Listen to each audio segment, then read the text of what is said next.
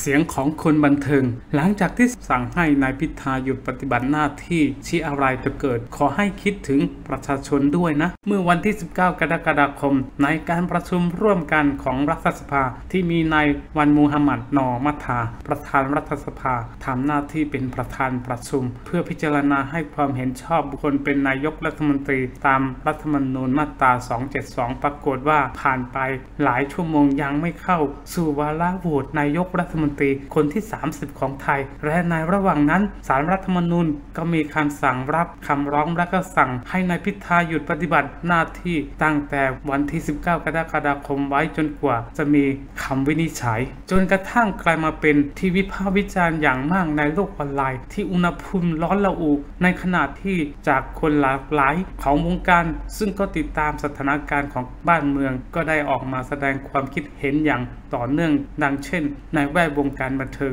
ไม่ว่าจะเป็นตุลไวฑูรเกียรติ นักร้องนำวงอพาร์ตเมนต์คุณป้าที่โพสเฟซบุ๊กระบุเอาไว้ว่าไม่ว่าอะไรจะเกิดขึ้น ก็อย่าลืมความเปลี่ยนแปลงในใจของคนในครั้งยิ่งใหญ่ได้เกิดขึ้นแล้ว คุณเกิดกีดกั้นพรรคได้ แต่ก็กีดก้านความคิดของคนไม่ได้นะครับจไทยทศมิตร นักร้องนำวงไทยทศมิตรและก็นักแสดงนำจากเรื่องซีคิงที่แชร์คำพูดของสวกิติศักดิ์ที่บอกว่าสวคุยกันเบื้องต้นสิ่งที่สำคัญที่สุดก็คือ ขอให้ประเทศไทยคืน ไม่ยอมเปลี่ยนประเทศไทย จะขอให้ลูกหลานเราคืน ก่อนที่จะระบุไว้ว่าไม่สงวนท่าที อะไรทั้งนั้น ทุเรศมาก ประชาชนคิดยังไง ช่างหัวมันอุบาท ทางด้านกองห้วยไล่นักแสดงชื่อดังขวัญใจประชาชน ก็ได้ออกมาโพสต์เตนตัสเฟซบุ๊กว่าฮ่าฮ่าคิวแป๊กมืออาชีพสุดๆ ยังไงก็ได้ขอให้ประชาชนได้ผลประโยชน์สูงสุดนะครับเจ้านาย ส่วนคุณอ๋อมสกาวใจนักแสดงมากความสามารถก็ยังเป็นผู้สมัครสส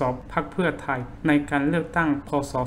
2566 ที่ผ่านมา ได้โพสต์ภาพในอินสตาแกรมความหมายว่ายกที่หนึ่งเริ่มแล้วนะ ขออย่างเดียวนะคะโปรดอย่าใช้ความรุนแรงกับประชาชนพี่น้องลูกหลานอนาคตของเราทั้งนั้น ปิดท้ายด้วยพ่อใหญ่อย่างหมายไทย หัวใจศิลป์ที่ประเดินมาด้วยภาพเห็นชอบครับ ระบุไว้ว่าสิ่งที่ประชาชนไทยต้องการในวันนี้วอนไปถึงท่านผู้ที่มีอำนาจในการโหวตเห็นชอบนะครับว้าวแบบเนี้ยเด้อท่านก่อนที่จะโพสเป็นพื้นหลังสีดำระบุไว้ว่าศาลเดียวที่น่าเคารพก็คือศาลพระภูมิหน้าบ้านกู เบิร์ดเนียวซิว่าวครับ